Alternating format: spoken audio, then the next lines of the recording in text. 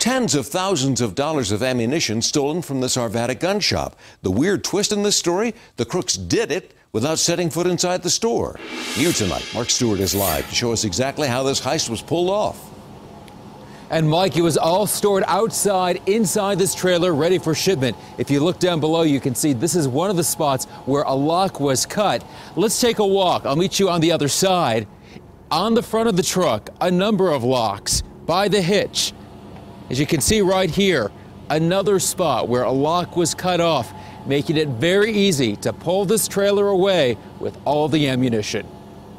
Ammunition is something that, uh, you know, is, you know, we don't take it lightly, you know, as far as the severity of, of what happened. $100,000 worth of ammunition stolen from this truck one week ago tonight. It was parked behind OD Green Supply on West 52nd in Arvada. The last thing I would want is for anything to fall into wrong hands. That's why Arvada police want you to take a good look at this SUV, a 2000 to 2006 Chevy Tahoe. It's believed criminals used the truck to tow the trailer away, eventually ditching it near the Shell station. Anytime that, you know, uh, something is taken from you, you know, you do have that sense of violation and things like that. Gun stores and what they sell may be becoming an even greater target for thieves, amid concerns new laws and regulations will make it tougher to buy ammunition.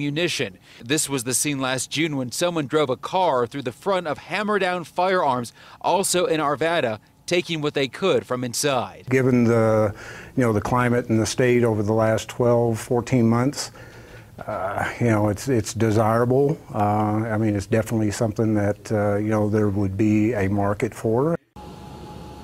Back here live, there are surveillance cameras, a number of them. They were working, but the man who was cutting the locks was working so quickly, and the fact that he was covered from head to toe, literally, made it very difficult for anyone to get a very good suspect description. We're live in Arvada tonight. Mark Stewart, 7 News.